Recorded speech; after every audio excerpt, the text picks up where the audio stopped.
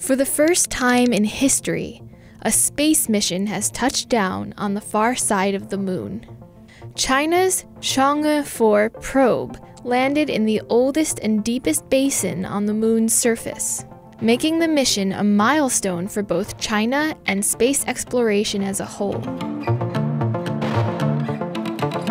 This isn't the first time China has landed on the moon. In 2013, Chang'e 3 successfully touched down on Mare Imbrium, a huge lava plain on the moon's surface. But until now, China has never explored the moon's mysterious dark side. No one has. That's actually why it's called the dark side. It's not hidden from the sun, it's hidden from our view. That's because the moon is in what's called synchronous rotation with the Earth, which means every time the moon rotates once on its axis, it also completes one orbit around the Earth. As a result, we see the same face of the moon every night.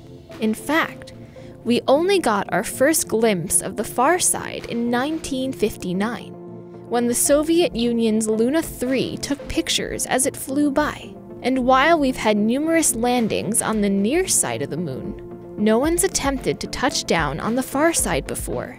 And for good reason. It's impossible to communicate with anything over there any signal would get blocked by the rest of the moon. But China's team has a solution. They launched a relay satellite with a clear view of both Chang'e 4 and the Earth. And so far, the plan's working. Here are the very first images taken by Chang'e 4, the first in history ever taken from the surface on the dark side of the moon. What's more, you're looking at the oldest, largest, and deepest basin the moon has.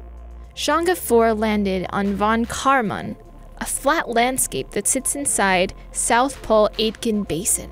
The basin is around 2,500 kilometers across. That's about the distance from New York to Dallas. And it's a whopping 8 kilometers deep. For comparison, the deepest natural point on Earth, the Challenger Deep, is nearly 11 kilometers deep. Next, the lander will release a rover that will explore the surrounding area. One of its tasks is to study the composition of rocks and dirt in the basin. Since scientists believe this is the oldest basin on the moon, learning what it's made of might help us understand how Earth's only moon formed and evolved. But that's only one goal of the mission. Besides cameras and spectrometers, Chang'e 4 also brought along potatoes and silkworm eggs. Researchers hope to test how well plants can grow and eggs can hatch in the moon's low gravity.